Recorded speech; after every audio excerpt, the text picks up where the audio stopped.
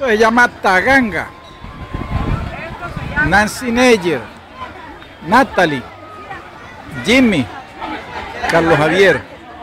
Esta es la panorámica de un domingo en Taganga.